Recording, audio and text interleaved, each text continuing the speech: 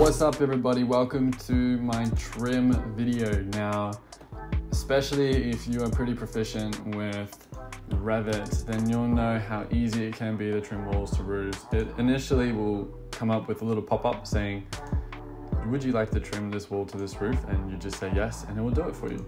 So once you transfer over to ArchiCAD, it can be quite frustrating not having that sense of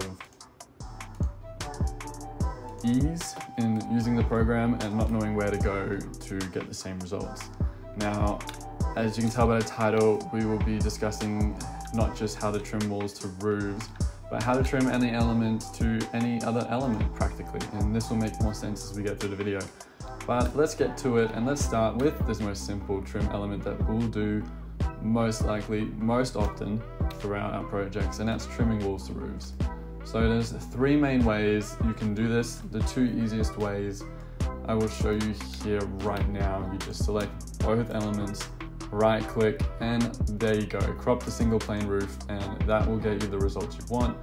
Make sure crop element to top is selected and there you go.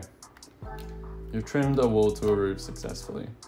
Now, there's another way you can do it and it's practically the same method. Highlight both, right click, move the, over to connect, trim elements to roof and shell, use roof shell from current selection, and oh, bam, you got it right there, same result.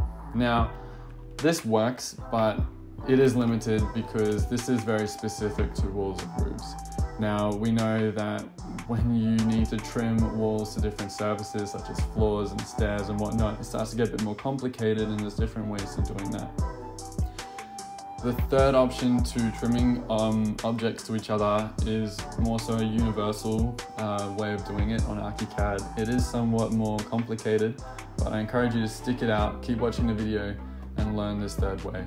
So what we can do to get this option going is there's two ways of opening it. It's selecting the elements you want to trim together, right click, go to connect again, but this time you want to open solid element operations. This will open up this nifty little window here.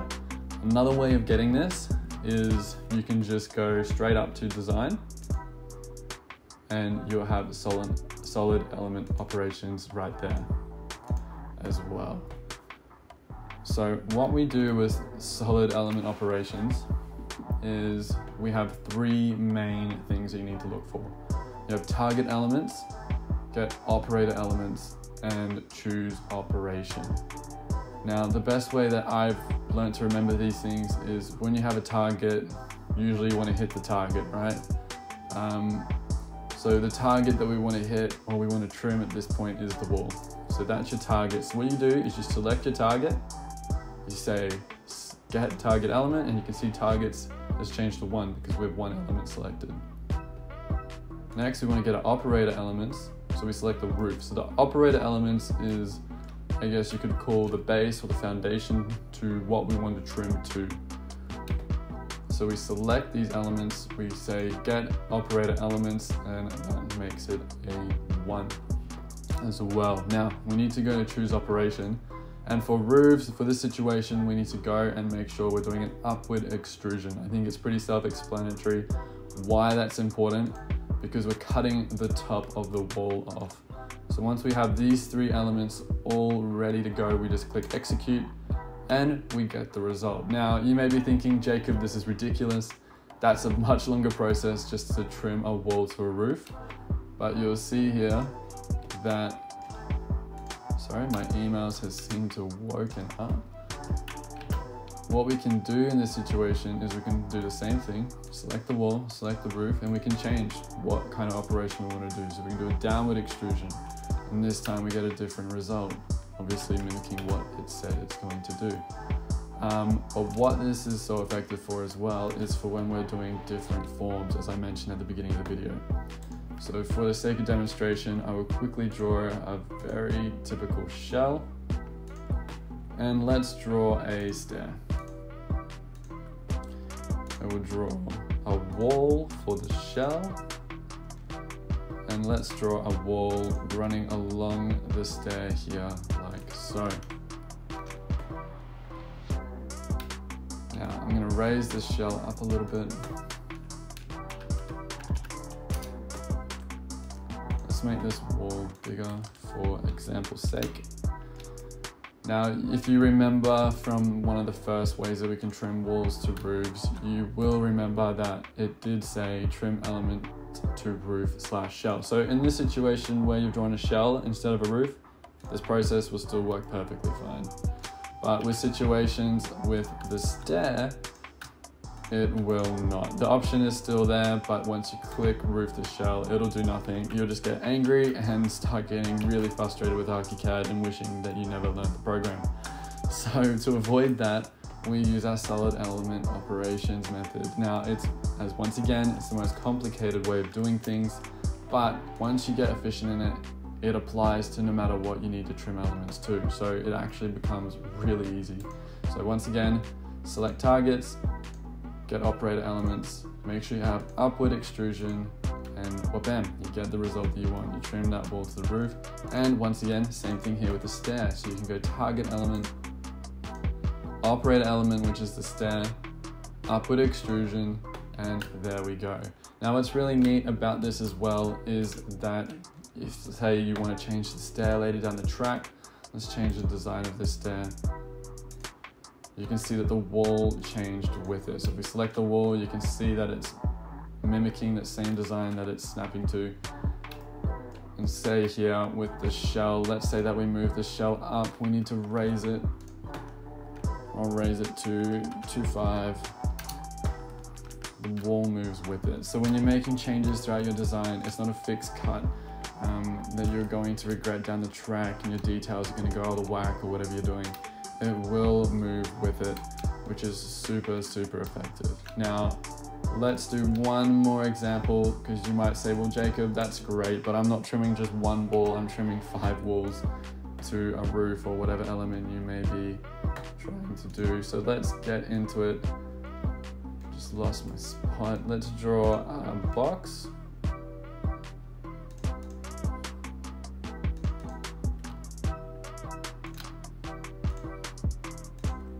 And this time we're going to draw two different roofs.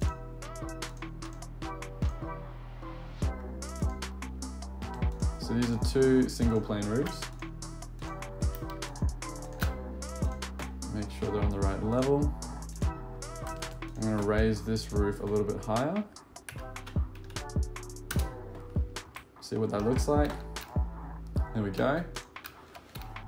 Let's make sure that these walls higher. It's a bit extreme, but it helps in the long scheme. Now, so what we're doing is we're trimming four walls to two different roofs. And what a unique thing here is that we have one element in particular here on both sides that is going to be trimmed to two different elements. So what we need to do is we take turns with the operator elements. Can and you select these target elements at your walls because that's what you're cutting. Operator element, upward extrusion, and there you go and then you do the other side like so. Upward extrusion and there you go, you get your result and you can fill in that gap, put in some windows and you're on your way with your design. Now, that's just to break it down. What you can also actually do here, which is really quick, is you just select all four target elements, select both your operator elements and execute and you get the same result. So ArchiCAD's pretty smart. It can adapt to whatever changes you're making. So let's say we're making, we're changing this roof to make more of a sawtooth roof design. It will adapt those walls to whatever you need to do. Let's say we make this smaller. The walls will go back to their original height and then you just add in another element and trim those roofs to that element.